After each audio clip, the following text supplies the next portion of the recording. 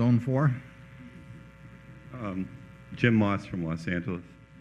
Uh, to, I was reading through your annual report, and to me, an eye popping number in there was the amount of float in 1994 at a cost of less than zero. I think it was $3 billion. And I was wondering if there are any restrictions on your investment of that money, or can that go into your um, marketable equity securities?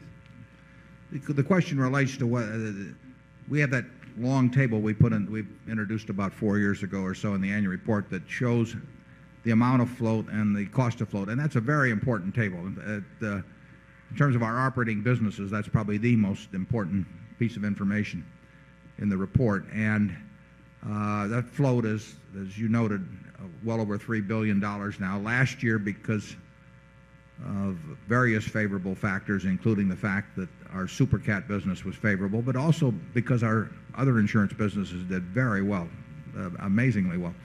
Uh, the cost of that float, which is money that we're holding that eventually does not belong to us, but will and will go to somebody else.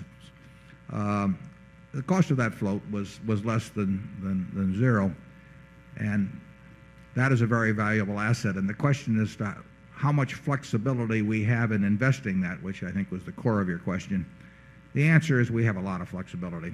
Uh, uh, we are not disadvantaged by, that money being in float as opposed to equity uh, really in any significant way. Now, if we had a very limited amount of equity and a very large amount of float, we would impose a lot of restrictions on ourselves as to how we would do it because we would want to be very sure that we were in a position to distribute that float in effect to policyholders or claimants or whatever it may be at the time that was appropriate.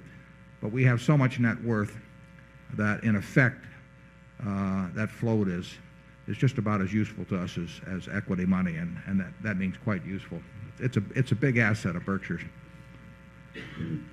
Let's see, we got.